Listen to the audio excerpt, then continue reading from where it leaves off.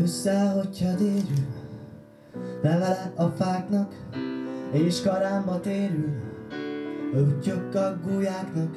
A Kelemen testvérek produkciója nyitotta a 25. Simonyi Imre emlékversenyt a Karácsonyi Gimnáziumban. Négy kategóriában nevezhettek a diákok a megmérettetésre, versírás, versmegzenésítés, versmondás és versillusztráció témakörökben.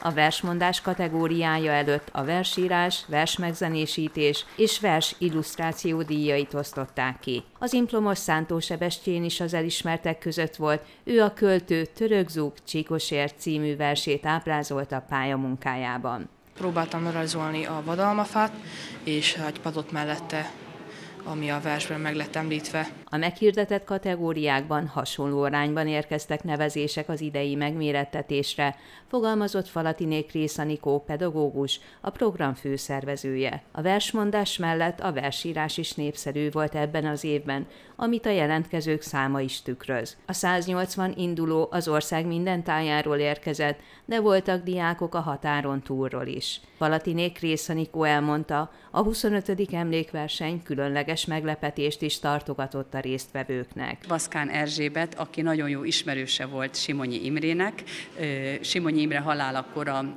hagyatékából Vaszkán Erzsébetre hagyott egy bútort, illetve egy bútor együttes, kanapét és két fotelt, és a hölgy felajánlotta az iskolánknak ezeket a bútorokat, amit az iskola most itt az iskola folyósóján állított ki a versenytiszteletére, de egyébként a könyvtárban fogjuk elhelyezni, az iskola könyvtárában, és azt Simonyi teremnek fogjuk ezentúl hívni az iskola kiskönyvtárát.